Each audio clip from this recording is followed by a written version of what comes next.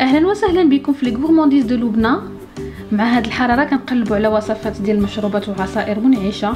سهلة وكتخرج لنا بكمية كبيرة. اليوم غنوجدوا واحد المشروب عجيب وغريب. هو مشروب إفريقي صحي بزاف مفيد للناس اللي عندهم مشاكل ديال الهضم وحتى صحاب l'hypertension اللي اولا اللي عندهم la tension طالعة. وفوق من هذا الشيء راه منعش ولذيذ بزاف. كيتصايب بالنبتة ديال الكركديه اليابسه أو l'hibiscus يابس. كلنا كنعرفوها. كيف ما كتبان لكم في لا فيديو. مع مكونات أخرى تابعوا معايا الطريقة.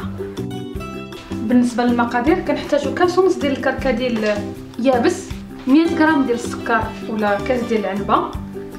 عندي هنا سكين جبل على حسب الذوق وثلاثة حبات ديال القرنفل وهذا القشور ديال الأناناسة وحدة اللي شاط ليا من الوصفة السابقة. إلا ما عندكمش القشور ديال الأناناس تقدروا تعوضوه بتفاحة كاملة مقطعة. عندي هنا حامضة اللي غادي نقطعوها شرائح وجوج لتر ديال الماء. أول حاجة غادي نغسل هذا الكركديه لأنه كيكون فيه الغبرة وغادي نصفيه عاد نستعملوه.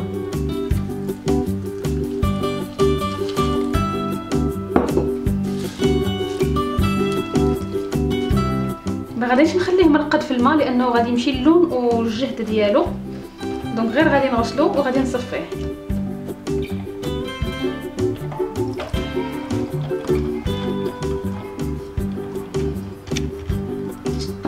غنعاود نشللو.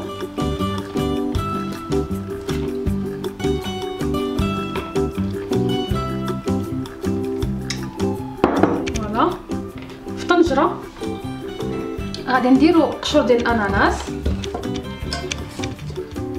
المهم الأناناس راه bien sûr خاصها تكون مغسولة مزيان باش حيت القشور غادي نطيبوهم غادي نديرو القرنفل.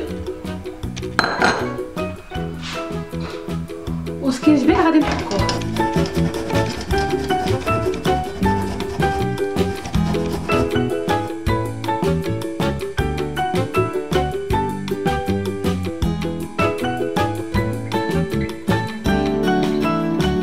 غنزيد نزيدو الكركديه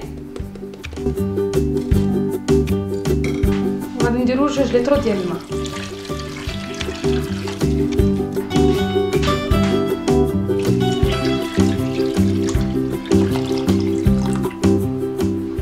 غادي ندير هاد الطنجره تغلى فوق نار مجهدة. غير طلع للغليه نحسبوا على 10 دقائق ونطفيو عليها.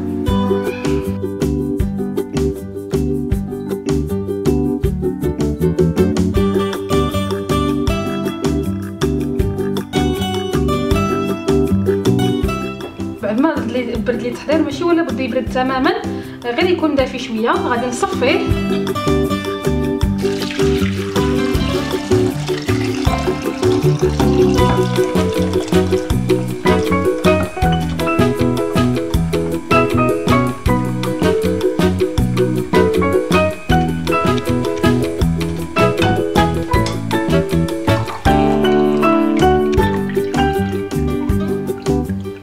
دابا غادي نزيدو السكر.